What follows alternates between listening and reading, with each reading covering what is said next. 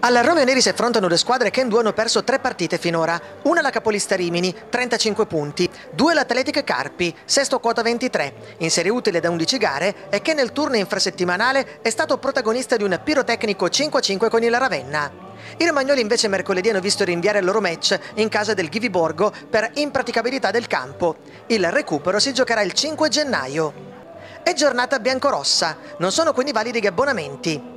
Mister Gaburro deve rinunciare ad Andreis squalificato, a Carboni ancora in infermeria e a Loduca per un virus intestinale accusato dopo pranzo. Al suo posto gioca Berghi. In curva est è esposto uno striscione. Per sempre riecheggerà Gavino Capultrà.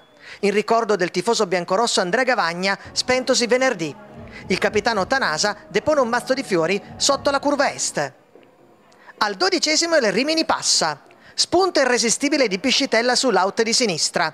Il numero 11 in maglia verde guadagna le linee di fondo e sfodera un assist d'oro per Mencagli, che si conferma bomber casalingo, spedendo in fondo al sacco.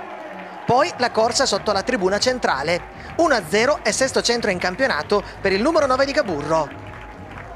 La reazione del Carpi sta in una conclusione di muro dal limite dell'area. Dopo un buon lavoro a sinistra di Sivilla al sedicesimo, Marietta blocca a terra. Al ventesimo Panelli controlla in maniera approssimativa il cross di Lordi Chipanizze. Marietta anticipa Raffini che con cavalleria lo salta.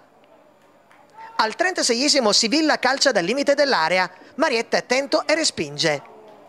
Al 38esimo Tonelli prova a fotocopiare l'azione del gol dell'1-0, questa volta però Ferretti ci arriva, poi il tiro di Gabbianelli non porta effetti. Un minuto dopo Tanasa avanza e una volta al limite dell'area spara. Ferretti devia in angolo. All'intervallo il Rimini è avanti di un gol. Resta negli spogliatoi Raffini, sostituito da Walker, che al quinto va al tiro, pallone lontano dal bersaglio. Dall'altra parte del campo, nello stesso minuto, Piscitella finisce a terra in area, poi il tiro di Tonelli ribattuto, per l'arbitro si può proseguire. Al nono cross di Montebugnoli, Walker tocca, Panelli appoggia l'indietro, Marietta blocca. Al decimo ripartenza degli emiliani dopo un pallone perso nell'area avversaria da Gabbianelli. Sivilla avanza incontrastato. Poi calcia dal limite dell'area. Marietta respinge di piede. Walker quando riceve palla è in fuorigioco.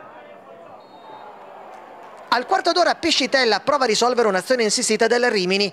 Ferretti si supera e respinge la sua volée.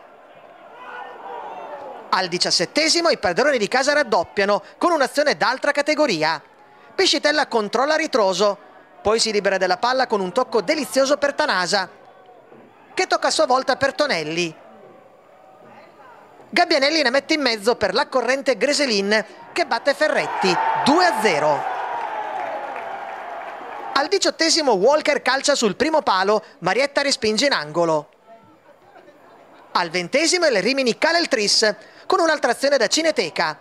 Dribbling di Piscitella a sinistra, velo di Mencagli, Gabbianelli appoggia per Greselin che trova il secondo gol personale in tre minuti. 3-0 e gara agli archivi.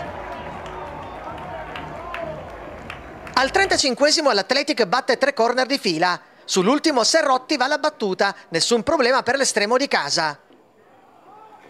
Al 49esimo arriva anche il poker, azione insistita a sinistra di pari, sul cui traversone si avventa Tomassini di testa. Anche il numero 21 partecipa alla festa del gol. Finisce 4-0 per il Rimini, che sale a quota 38 in classifica e stoppa 11 la striscia positiva del Carpi.